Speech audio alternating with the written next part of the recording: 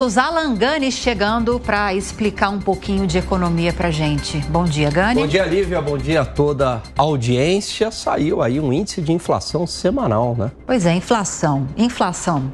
Ninguém Foi gosta. bom resultado ou não? Não, deu uma acelerada, é né? O IPCS-C. IPCS, isso, é. exatamente. Calculado pela Fundação Getúlio Vargas. Então, na primeira semana de janeiro, os preços haviam subido 0,40%. Agora, na segunda semana, houve uma inflação de 0,49%, ou seja, acelerou. E qual foi o motivo para a aceleração da inflação, Lívia?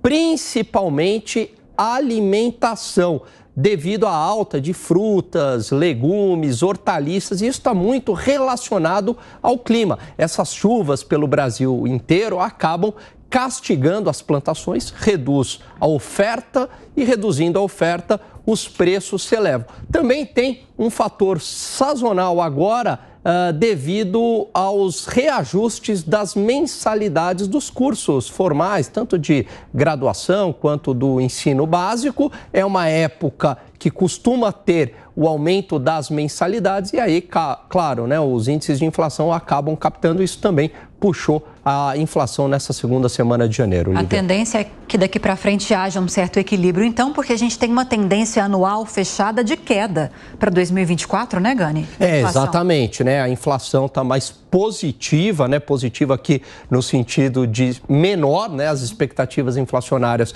em 3,87%. Então, a tendência é uma desaceleração da inflação. Quando a gente fala em desaceleração da inflação, os preços continuam subindo, mas eles sobem numa intensidade menor em relação ao ano passado, que fechou em 4,62% o IPC. Falar em redução de preço já aí é deflação. Aí é deflação, então é que pode ser até ruim, né? Que pode ser até ruim, porque geralmente a deflação ela está ligada a uma perda da atividade econômica. Quando o país não cresce, não há demanda e aí ninguém está conseguindo vender nada, o que, que acontece? Reduz o preço para tentar vender. Então, geralmente a deflação é um sintoma de que a economia não está indo bem, né? com queda de renda, com aumento do desemprego. A gente não está em deflação, a gente está em desaceleração inflacionária, o que é bom. A inflação está subindo numa menor